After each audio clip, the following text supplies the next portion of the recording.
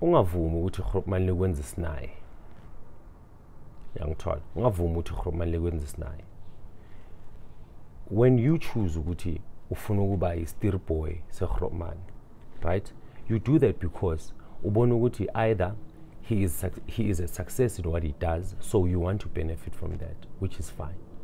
And naye when he allows you to be in his space he sees a, he must see an opportunity yokuthi hayi as lo muntu lona ngamenzela something. I can take him from one point to another point.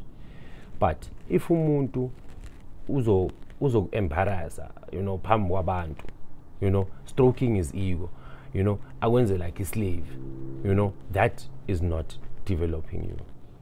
Umuntu okudevelophayo urhulumane ezothi kuwe um yazini angidrive ngifuna ukuyohlangana nosibanibani even if ukubiza ngo-odd hours you know and to go meet um, uh, maybe like a business associate or something. It makes sense because you get to learn you understand? You get to learn ukuthi oh kahle kahle ukuba nezinto.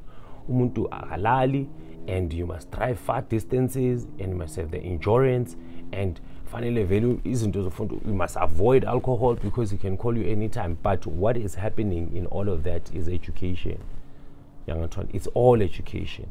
When he says take a certain document and go give it to someone, or when he is speaking to um, abantu or impintshi zakhe and then you listen to the conversation and uyazi ukuthi labantu laba le nto how he's acting in that environment uyabona ukuthi umuntu okuhloniphayo not umuntu ozothi ukuthi every time mekeblomeni impintshi zakhe wena manje sokufanele njalo uyothenga uyothenga ama-ice but there is actually nothing that you're benefiting. Lo muntu lo kwenza isinayo. Yakulahlekisa